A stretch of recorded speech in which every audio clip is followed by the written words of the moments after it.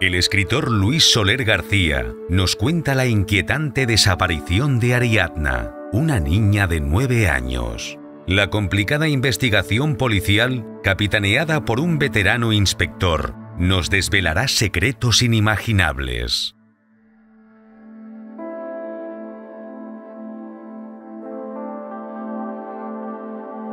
Ya a la venta en editorialcirculorrojo.com.